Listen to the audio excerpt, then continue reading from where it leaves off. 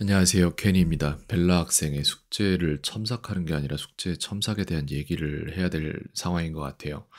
어떤 부분이 있냐면은 저는 지금 선제적으로 아이의 숙제를 보기도 전에 이 영상을 만들어서 보낼 건데요. 오늘 높은 확률로 벨라는 숙제를 안 할 거예요. 왜냐면은 세상 모든 것들이 반복되면 패턴이 나오거든요. 근데 벨라 학생의 패턴은 이렇게 생겼어요. 지금 밑에 부분이 안 나오는데 다 하루 뛰고 하루 건너서 하루 하고 이런 식으로 가요. 그리고 이 고리가 부서지지 않는 이상은 발전은 없을 거예요, 아마.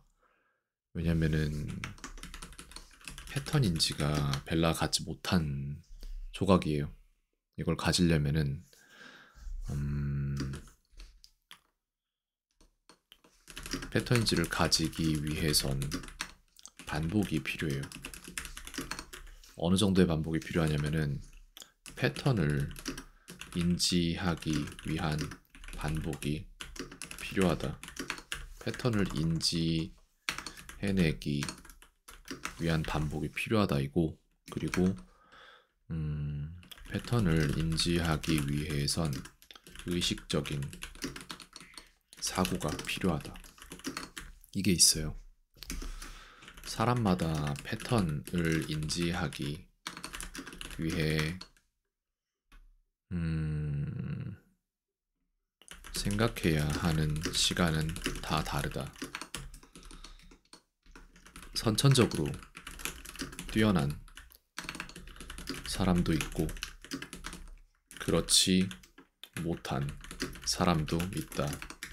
하지만 분명 후천적으로 훈련 가능한 부분이다. 라는 거를 말씀을 드리고 싶고요. 문제가 여기 있는 거예요. 어제 숙제 첨삭을 하면서 보내드렸던 부분인데 계속해서 음, 어떤 부분이 있냐면은 뭔가 무언가를 무언가를 잘 배우지 못하거나 계속 배워도 틀리는 케이스를 관찰해 보면 신기하게도 한 가지 공통점을 보인다. 이 부분이 있어요. 어떤 공통점이냐면은 음, 새로 배운 무언가를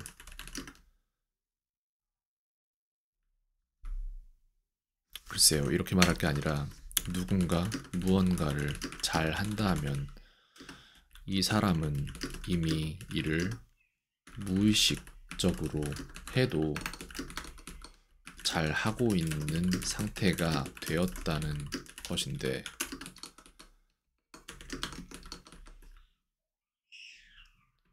무의식적으로 해도 잘 하는 사람들이 있는 반면에 잘 못하면 의식적으로 해야 하는데 전혀 못하는 시점부터 무의식이 개입하는 경우를 보이는 사람들도 있다. 여기가 문제인 걸로 저는 판단을 하고 있고, 음, 무언가를 잘 배우지 못하거나 배워도 계속 어, 틀리는 사람들이 여기에 속하는 걸로 생각된다 라고 말씀드릴 수 있어요. 그래서 어떤 케이스를 보냐면은 배운다. 순서를 말하자면 순서를 따지자면 배운다. 뭔가를 배워요. 몰랐던 거를. 그죠? 그 다음에 이해한다가 있고 그 다음에 반복한다가 있어요 기억한다가 있고 기억하고 나서 뭐 하지? 또 반복해요. 이렇게 되면은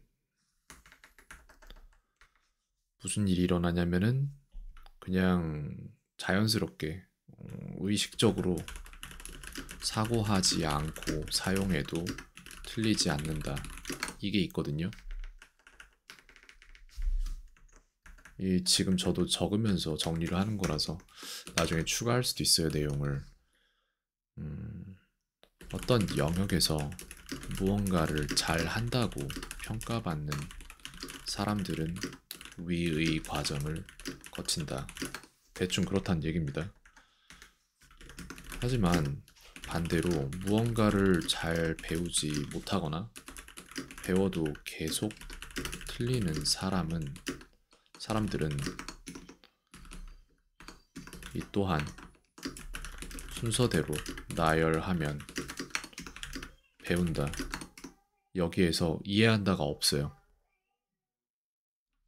이해한다가 있지가 않고 뭐가 있냐면은 그냥 피상적으로 그냥 외운다예요. 이게 이렇게 되더라고요.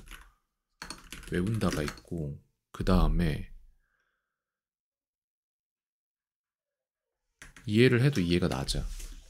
정확한 이해가 아니라 그냥 무언가를 피상적으로 외울 정도까지의 이해로 이를 암기해버린다. 이게 있어요. 그 다음에 반복한다가 요걸 약간씩 바꿔야 돼요. 그래서 배운다, 이해한다, 의식적으로 반복한다. 여기에서 바로 넘어가요. 그냥 무의식적으로 반복한다.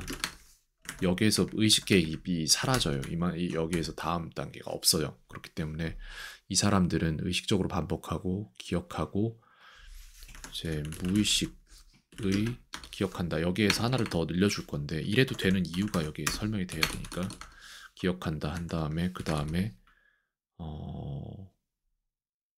의식의 개입이 필요 없을 정도로 능숙해진다.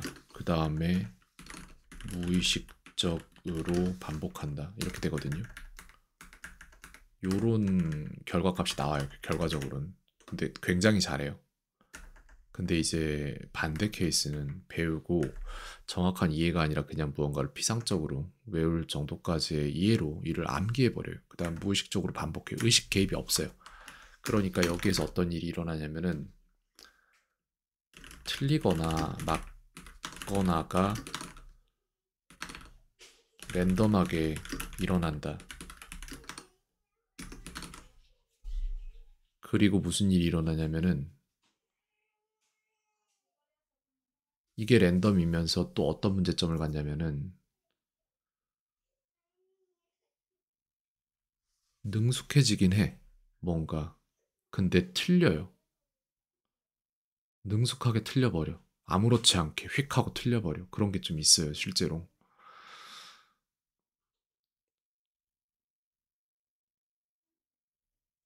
여기까지 하면 딱 정리가 끝난 것 같은데 이게 맞는 것 같은데 정확한 이해가 아니라 피상적으로 일을 암기해버리고 무의식적으로 반복하고 틀리거나 맞거나가 랜덤하게 일어나고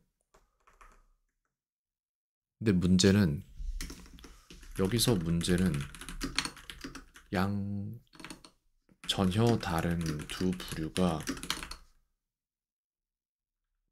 다른 부류에 대한 이해가 전혀 없어요. 이걸 A로 따지자.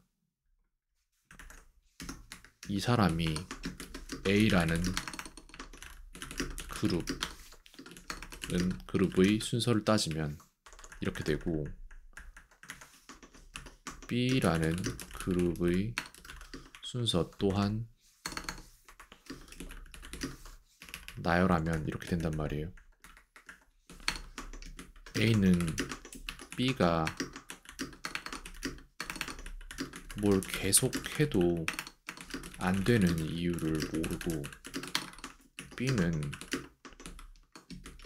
A가 잘하는 게 아이가 무언가를 편하게 해도 무언가를 쉬엄, 쉬엄 쉬엄 해도 잘하는 게 불공평하다고 느껴요. 이런 상황이 진짜 나와요. B는 그냥 자신의 방식대로 열심히 하는데 배운 지식들이 다 새어나갑니다. 그리고 이런 지식들이 얼마나 잘 보존되어 있는지를 확인한 시험이라는 단계가 이미 하, 이걸 어떻게 말해야 되냐. 진짜 어렵다 이런 거 정리하기가 A는 A는 B가 뭘 계속해도 안 되는 이유를 몰라. 그리고 B는 A가 무언가를 쉬엄쉬엄 해도 잘 되는 게 불공평하다고 느껴요. 왜냐면 B도 열심히 했어요 자신의 방법대로. 하는데 다 새어나갑니다. 즉 B는 자신도 모르는 사이에 의식 개입 없이 무의식이 랜덤하게 맞거나 틀리는 걸 계속 반복하는 게 자신이 생각할 수 있는 최선이 돼버린 거야. 되어버린 거예요. A는 반대로 그냥 꾸준히 무언가를 하는 게 너무 당연한 게 되어버려서 심지어는 시험 때 공부할 시간이 없어서 진짜 공부를 못했다고 해도 성적이 나와요 그냥 왜냐면 어차피 평소에 했으니까 근데 B는 평소에 안 했냐 그러면 평소에 했거든요 B도. 근데 지식이 축적되는 식으로 한 게 아니야. B도 A도 최선을 다 하지만 B는 틀리는 게 왜 틀리는지 모른 채 그냥 계속 시간을 쓰고 지식이 축적이 안 돼 버려요. 그리고 이게 어떤 왜 어, 어째서 이렇게 되는지를 몰라. 이게 이런 일들이 왜 일어나는지 잘 몰라요.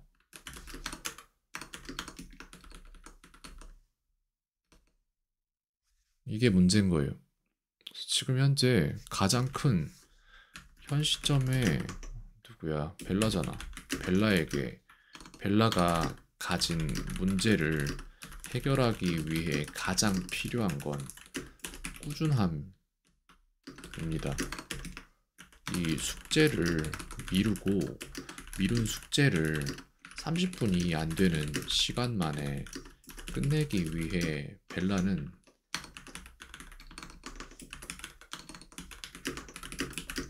또 같은 실수를 반복해요. 의식의 개입이 전혀 없는 상태에서 무의식이 단순한 피상적인 기억력만을 이용해서 문제를 풀어요. 스스로의 습관이 여유를 뺏고 이로 인해 의식의 개입은 더 줄어요. 숙제는 하지만 실제로 얻어야 할 패턴은 얻지 못하고 그냥 단순 기억으로 일을 매일매일 아니야 이틀에 한 번이잖아 이틀에 한 번 해나가요. 이 숙제를 매일 하는 습관이 잡히지 않으면 개선점이 안 나올 것 같아요. 이 부분 정리해서 벨라한테는 바로 안 보낼 거고요. 어머님께 보내놓도록 하겠습니다. 이거 지금 엄청 심각한 문제예요. 내가 볼 때는. 이 그래프를 내가 저기 아까 뭔가 가려져 있었으니까 안 보였으니까 다시 볼 건데 여기 있잖아요. 통계를 보면은 이렇게 한다니까요. 하루하루 뛰잖아. 다 계속 뛰고 있죠. 그죠? 하루하루. 계속 이때로 회귀하는 거예요. 이때는 몰라. 내가 뭐라고 했을 수도 있고 어머니가 열심히 하자라고 동기부여를 했을 수도 있는데 이때는 뭔가 또 안 되잖아요. 그죠? 정확히 언제야? 7일부터네. 이게 지금 벨라가 가진 습관이에요. 보세요. 처음 시작했을 때부터 시작해서 계속해서 뭔가 뛰다가 2주는 괜찮았는데 여기에서 또 뛰고 뛰고 이런 식으로 해서 조금씩 조금씩 깨져요. 계속. 어떤 사람은 이게 한 번도 안 깨진 사람도 있고 그러거든요. 근데 내가 볼 때 뭔가를 개선하려면 이거부터 개선하는 게 맞아요. 여기까지 하겠습니다. 15분 정도 영상을 찍어버렸는데 이게 지금 문제예요. A라는 그룹과 B라는 그룹이 서로에 대한 이해 자체가 없어요, 애초에. 근데 저 같은 경우에는 모든 그룹을 다 보잖아요. 그러니까 이게 이런 그룹, 이런 속, 습성을 가진 아이들이 있어요. 무의식적으로 뭘 하는 거예요. 의식적으로 뭘 사고 해서 이게 왜 그렇지? 라는 왜라는 질문 자체를 안 던져요. 음, 이걸 잘 알고 있는데 근데 벨라가 지금 이걸 나오기 위해서 필요한 거는 일단은 숙제를 매일 한다. 제대로. 그게 필요해요. 어제 보니까 260개인가 그랬잖아. 통계 보면은 263복습 했단 말이에요. 이거 굉장히 많은 양인데 시간 25분밖에 안 걸렸어요. 말이 안 돼요, 사실. 그렇게 될 수는 없어요. 여기까지 하겠습니다. 캔이었습니다. 오늘 하루도 평온하세요.